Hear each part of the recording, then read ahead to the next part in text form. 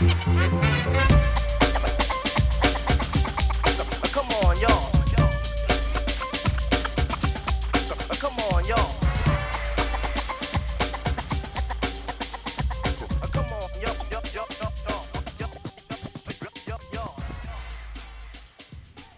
Right, welcome to another episode of Gymnasticsville. I'm your host, Midknight Robin, and today is going to be an exciting show. It is clear blue skies here in Norman, Oklahoma.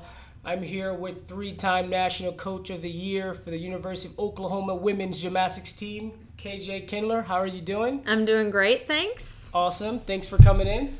You're welcome. I'm happy to be here. All right, so we're going to start with a few off topic questions just so we can all get to know you a little bit better. Um, what is your favorite vegetable? Oh my goodness. I love Brussels sprouts Okay. and cauliflower. Cauliflower. Yeah. All right. Those are the two I love the most. Okay. um, what's a pet peeve of yours? Ooh. Wow, that's a that's a big one. I hate it when people chomp on their gum. Okay. That's a big pet peeve Okay. of mine. That, just that sound. That, yes, that like Yes, yeah. yeah. And I would say that that's one of my top ones, but I, I have a lot. Okay. Okay. All right. So I've been watching some of your floor routines, Mm-hmm. uh, and you choreograph them. Is that correct? Yes. Okay. So this has nothing to do with that, but I know you like dance. So Yes. what's your favorite dance move of all time? Oh my gosh. Dance move? Yeah, dance move. If you ever just feel like you know dance therapy and dance, or you know, Uh, my favorite dance move is when Prince dropped to the ground and popped back up like seamlessly, Yeah. and he just and it looked like he was landing on a pillow and just I Wow, love that. Prince. Yeah, I love Prince. Okay. He's my favorite. okay, Prince. Good to know. Good to know. All right. Um, favorite inspirational movie. Hmm. I know it's tough. So if you want to pick like one or two, or your top two, or top three, but you know what's Hmm. what you know, could be sports related or Honestly, like I love Rudy. I love the story behind Rudy. I know that's so cliche, right? No, it's okay. That's actually one of my favorite movies. it's cliche, but it's it's about you know honestly a non-scholarship athlete that's just loves the sport, working his butt off. I love that. I love that story. Wow, wow, that's great. Okay, so how did you get started into coaching? How did that Hmm. journey start for you? Honestly, I started probably when I was in high school. I did um, I did choreography for myself in my club. I assisted in my club with coaching. Okay. And when I uh, went to college, I coached at the club there. I was a walk on and I coached at night at the club. Back then, you could do that. And um, we had a little team, very young, just like compulsory level. And Okay. I was their coach. Wow, wow, that's great. All right, so I want to talk a little bit about, you know, you've been with the program for the last 12 years. Um, you've done a remarkable job. You won three national championships. Um, you know, before you got here, in my opinion, the University of Oklahoma women's team was a little mediocre. I mean, what what led to that? What's kind of your coaching philosophy in, in bringing Oklahoma to such a, a winning program, just, you know, over the last 12 years?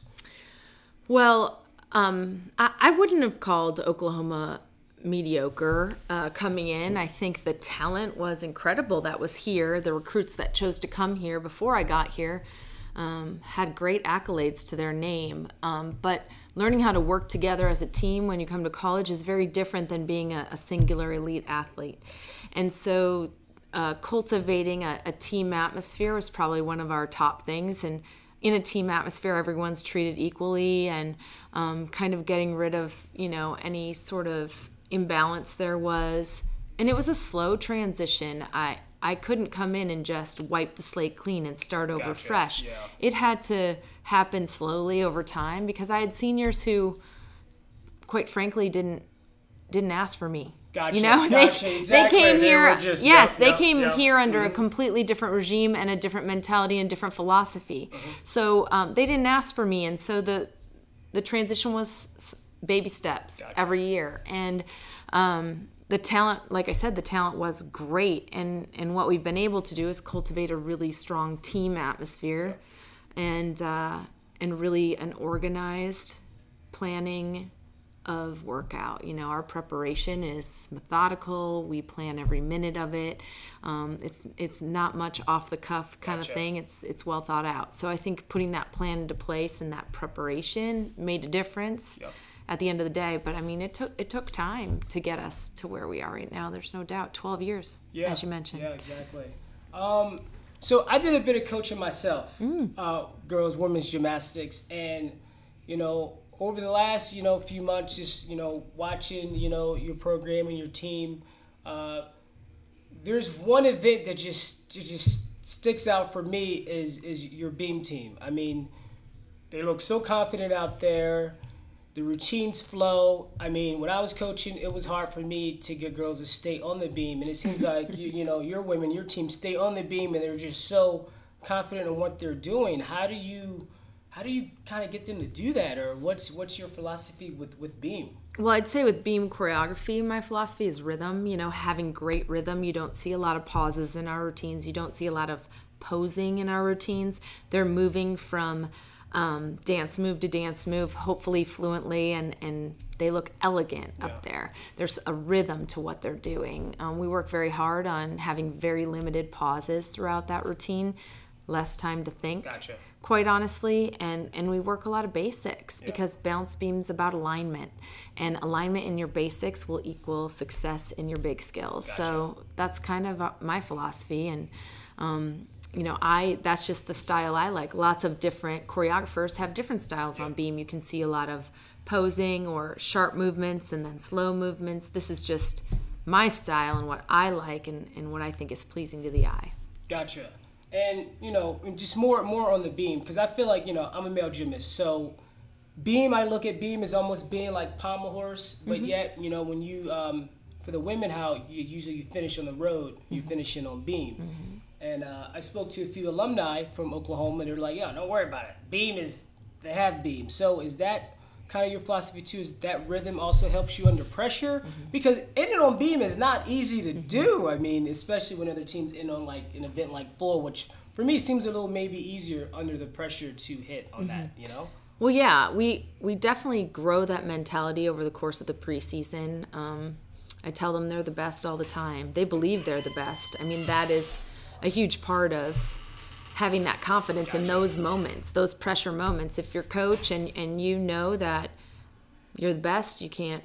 It won't. It won't waver. You won't freak. You're calm. You know you've got it. I mean, I think that starts, you know, in August when I'm when I'm making up assignments and doing things like that, I mean, I'm always telling them, you know, y'all are the best. Yeah. You know, and, and they believe it. They truly believe it. And when they go into those moments, they know they're good in those moments. The history of being good in those moments helps them be more confident, even if it's a team three years before they got there. Like you said, they're known for being quite steady on beam and quite steady under pressure on beam. They just kind of fall into that cliche and fall into that category, and they, oh, I guess I'm. Doesn't matter where I was Yeah. before. I guess now I'm steady Eddie on beam, you know, and hopefully they let go of any, you know, former hiccups they had or anything like that. And, and when they come to this college environment, they change their mindset. It is a complete mindset to to know that you know going into beam you're just going to nail it. And the last two meets have been a testament to that you know against florida and ucla going in tied.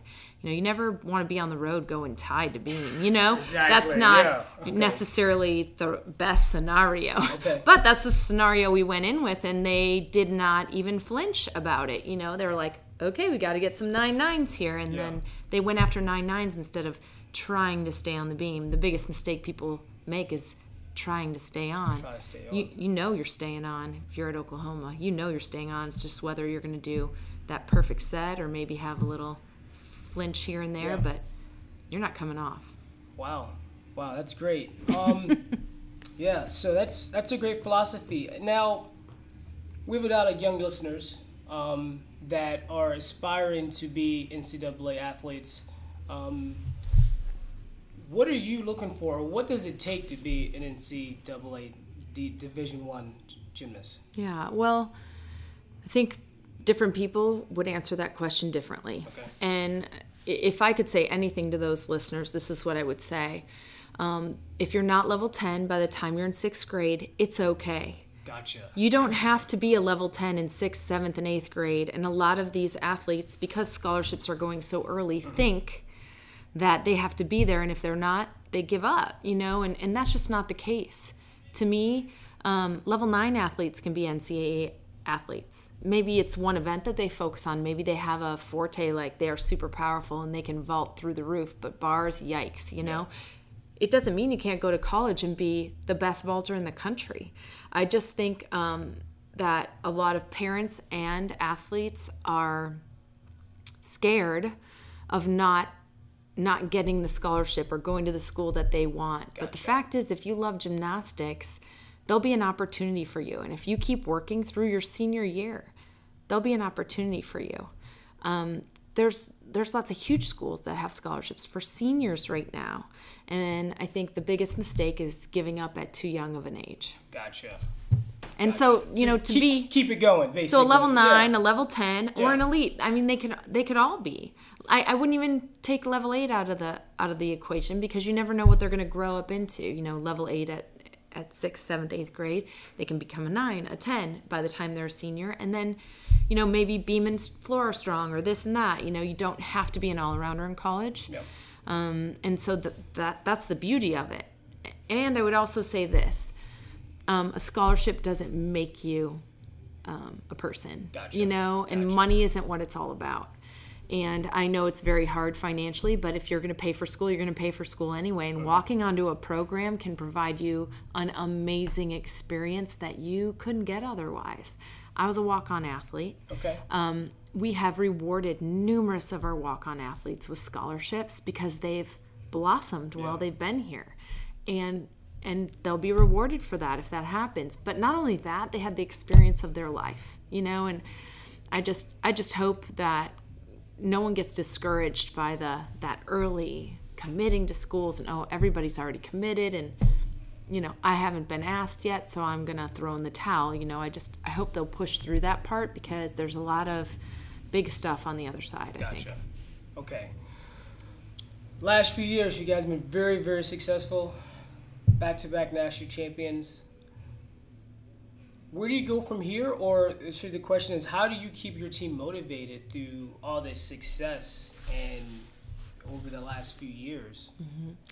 it's not hard to keep them motivated quite honestly they've been to the top so they know what it feels like to be there and that's the only place they want to be Gotcha. you know once you've you've been there and you've achieved that nothing else is quite matches up. But it's honestly it's the the whole experience like i mentioned. There's not there's nothing like it. And whether you end up third second first or 12th Yeah. you have um, you have had an amazing experience. You have grown as a person. You have um, depended on one another and created a bond that no one can ever take away. But where would they like to be? They'd like to be at the top. I don't think motivation's an issue for us we won't always be at the top Gotcha. but we're always going to try to be at the top Okay, I understand. All right, so I want to talk a little bit about your, your current team. Um, if you had maybe one or two words to describe Maggie Nichols, what would that be? Hmm. She's very inspiring Okay.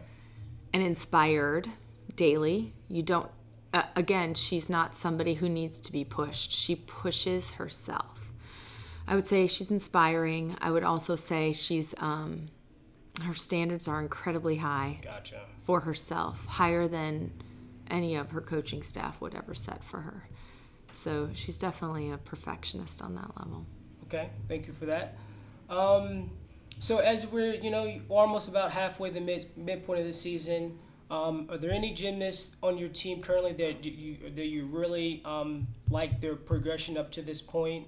And you know, we'll talk a little bit about that? Yeah, um, Bree Showers is someone who we felt as a freshman she would walk in and make a huge impact. Then she, you know, experienced an injury last year and had to watch basically. And this this year she's been amazing, just what we thought she would have been last year. Okay. Um, and that's harder to do, I think, in your sophomore season after going through all that, watching, you know, not having that opportunity to come out your sophomore season and, and basically do what you could have done the year before, not lose motivation, not get complacent. I think um, that's huge. so she's been super impressive and if you watch her gymnastics it's just it's just elegant Gotcha. and and strong and technically really really good um, someone else that i would say uh, stands out is anastasia webb um, who has come as a freshman and is doing all around not every meet but Okay. Um, periodically. She's very unique in that she's graceful but yet powerful. So she has both, and she can still swing bars. Like she's got all the the whole package. Okay. So she's really, I've really seen her grow a lot competitively for sure.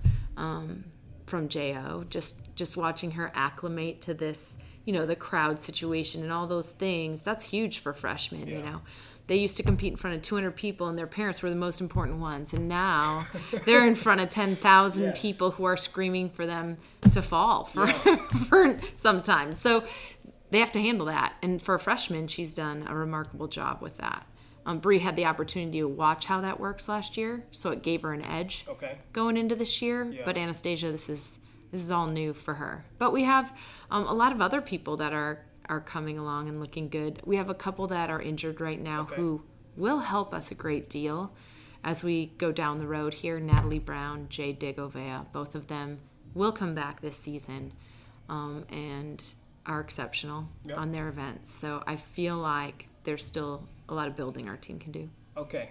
Um, so right now you guys are ranked first place team in the rankings, first place on vault, first place on balance beam and bars. I mean, you know, are you are you are you um you like where you're at right now at this point in the season? I, mean, I know coaches are very, you know, guys are very uh what can I say the word I'm looking for? You always want more, so to speak. So, where do you think your team's at right now at this point in the season? Yeah, I mean, this is familiar territory for us. We always kind of have the philosophy of coming out hot. Um, and there'll be dips throughout the season, surely. You know, um, we will change up our lineup, give other people opportunities, things like that. But but that's going to help us grow. Yeah. Um, so ranking wise, you know, if you were to pay attention to the rankings, yeah, that that's a great place to be right now. Yep. Um, can we still get better? Yeah, you know, they're they're right now they're competing against themselves every time they go out there. They have they have a sample set of five scores and they know what they're capable of now. You know, when you go out the first time, you're not really sure what you're capable Yeah. of. Now they're looking and saying, "Oh, I can get a 995. I can get a 10." And um, they know what that routine feels like now because they've done these five routines Okay. they know what a 10 feels like and so um, I, you know we expect they'll just continue to shoot for that if they try to outdo themselves there's nothing better they can do Nice. All right. A few more questions. Um, so, is there any other matchup uh, that you got that's coming up here in the next, you know, up until NCAA's and conference that you guys are really looking to, you know, you circling on your board, be like, this is where we want to perform at our best, or where it's going to be, you know, good competition?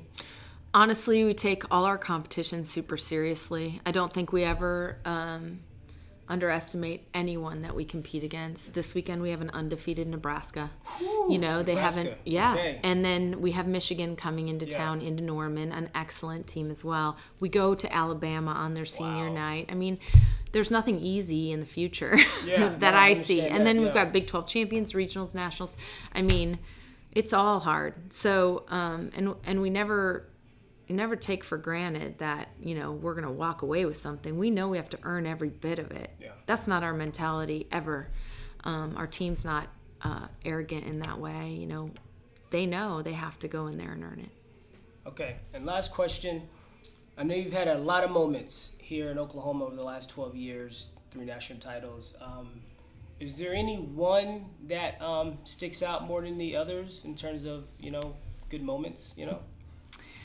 Well, I have to say, uh, in 2016, the end of the meet was the most dramatic that we've had, and that made it the most exciting. Uh, in 2014, we tied. Okay. Um, but it just wasn't the same as being up there by yourself. Gotcha. And in 2016, we were ending on floor, which is always an awesome place to end. And, and not very often have we gotten that rotation at nationals. And after AJ competed, she was the fifth competitor while Haley Scaman stepped onto the floor mm-hmm. to do her floor routine. the score came up and pushed us to the top of the leaderboard. And she's in her starting pose, and the whole team down below is celebrating. The poor girl had to do her whole floor routine knowing we had already won. And I thought to myself, honestly, how free she must have felt. Yeah. No pressure. Yeah. Like we've already won. Like just do just Yeah. enjoy it. It's like And your so- victory lap almost. yeah, almost. And so it was just so like heartwarming to watch that routine and to watch her be able to just like soak in knowing that we had won and then at the same time just do a killer routine and celebrate and the team felt, you know, a lot of freedom watching that Yeah. routine. That moment was really exciting. Um, and made it really fun at the end. But winning a championship, period, Yeah. is an amazing moment you can't take anything away from it. Every single one has been different and unique, and um, they're days I will never forget, and I'm sure you know our athletes will never forget those moments. Awesome. Well, that was a great moment. Thank you for sharing and coming in, KJ. And uh, good luck with the rest of the season. Thank you.